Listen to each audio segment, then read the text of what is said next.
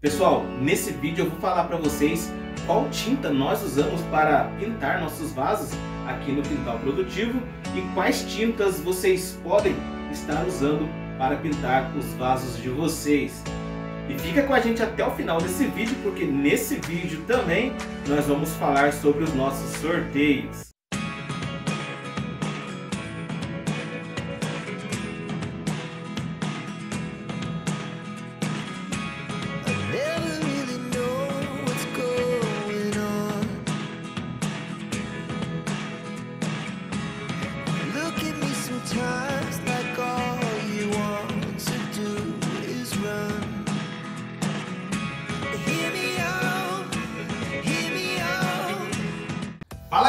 Beleza? Bem-vindos a mais um vídeo aqui no canal. Eu sou o Davi Carvalho e você está no Quintal Produtivo.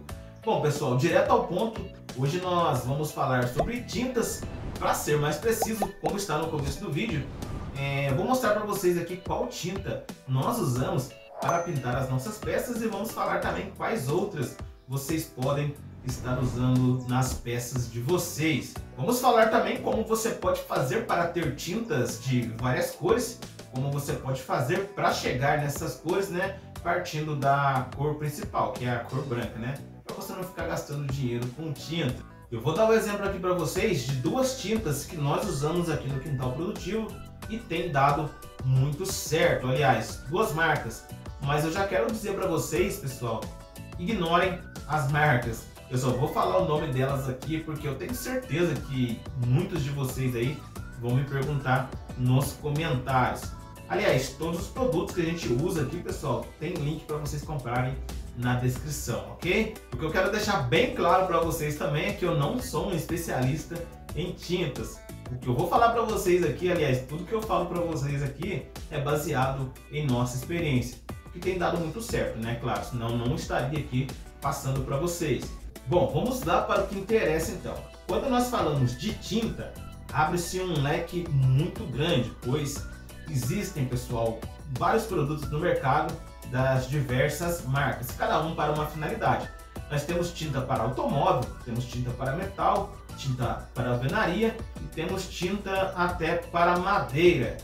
E qual é a tinta que nós escolhemos para pintar os vasos aqui do quintal produtivo?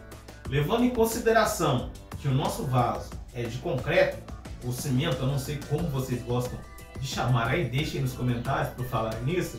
Levando isso em consideração, pessoal, nós procuramos optar por tinta de parede mesmo, né? Tinta para alvenaria. Essa tinta que nós escolhemos é uma tinta acrílica, uma tinta econômica, vocês já vão entender o porquê aqui no vídeo. E é uma tinta, pessoal, para áreas externas. Uma coisa que eu sempre falo para vocês aqui, pessoal. Vai produzir vaso? Procurem usar produtos para áreas externas. Desde tinta, de verniz, resina, tudo para áreas externas. Porque o seu cliente ele pode colocar o vaso no sol, em chuva constante. Isso pode vir danificar o seu vaso. Se o seu produto não, não for preparado para isso, né?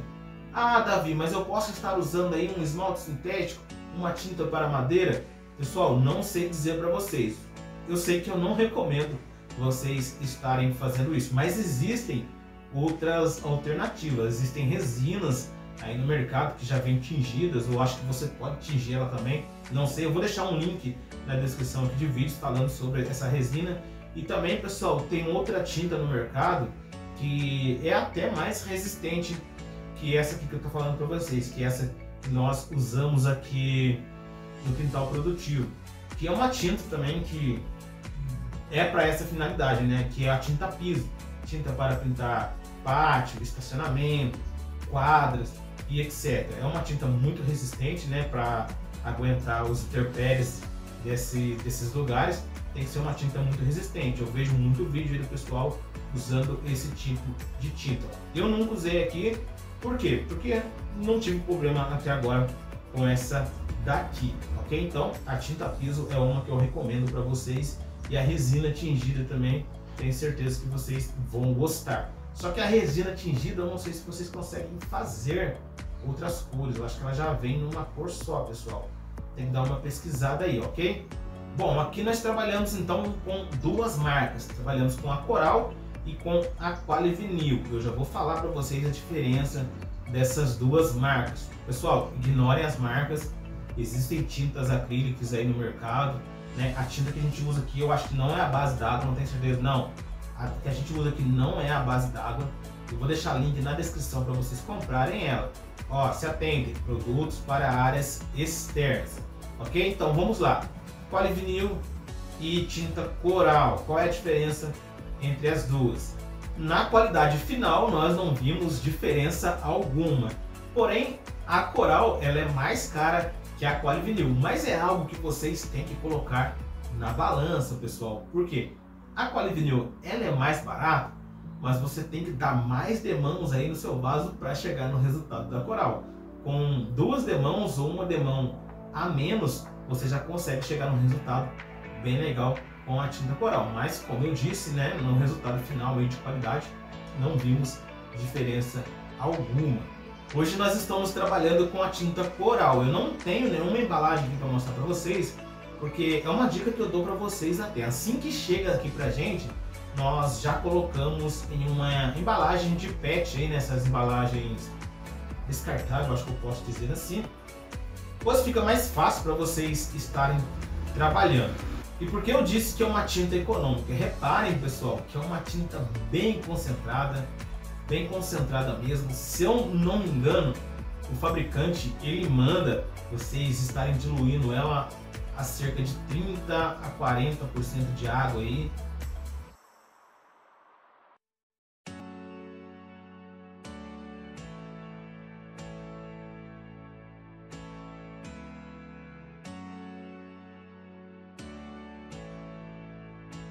é muito importante vocês estarem seguindo as recomendações do fabricante, que ele manda diluir aí, eu acho que de 30 a 40, se não for 50% de água.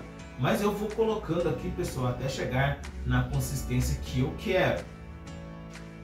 E olha só como fica, uma tinta bem homogênea, bem misturada, isso é muito importante, a tinta ficar bem misturada mesmo, bem homogênea. Homogênea ou homogênica? Não sei, pessoal, não sei dizer, deixa aí nos comentários. Beleza, David, já preparei minha tinta, tudo preparado, tudo legal, só que eu não quero pintar todos os meus vasos de branco.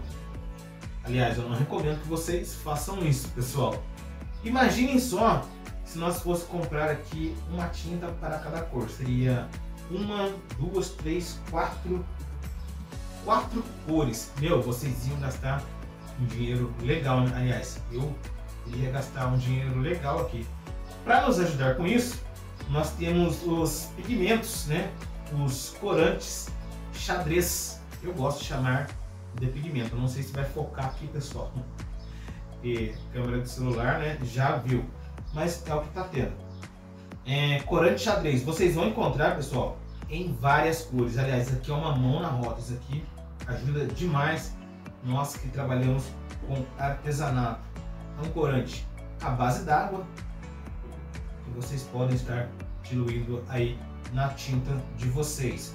Vou deixar um exemplo aí para vocês verem da cor azul. Não tem segredo para vocês usarem, basta vocês adicionarem na tinta. Lógico, depois que ela já estiver diluída, né? É importante vocês agitarem ela antes de usar. Aí vocês vão colocando, pessoal, e mexendo até chegar no tom que vocês querem. Aliás, vai chegar uma hora aí que ela vai, vamos dizer assim, saturar e não vai passar mais de uma determinada cor.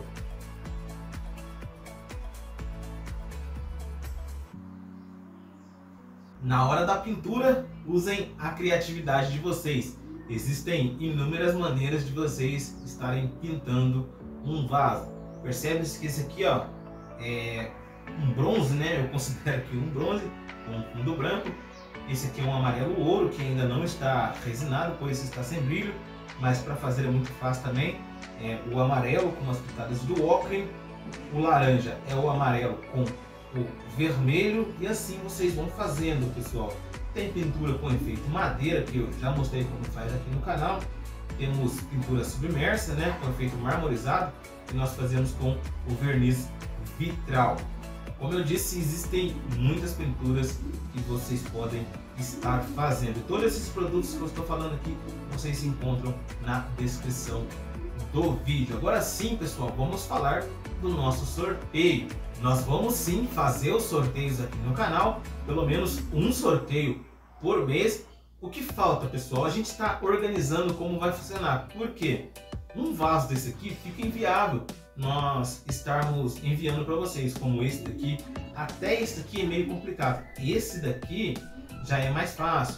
Esse daqui, outros modelinhos pequenos que nós temos aqui, já é mais fácil, né? Uma floreira que a gente pode estar enviando para vocês também é mais fácil. Esse daqui mesmo, pessoal, nós vamos ter que fazer teste, porque a gente sabe que os correios não têm muito cuidado com os nossos produtos. Agora imagina só um vaso de cimento, né? Você está ansioso porque você ganhou e um vaso chegar todo quebrado na sua casa. Então a gente está vendo essa questão aí também.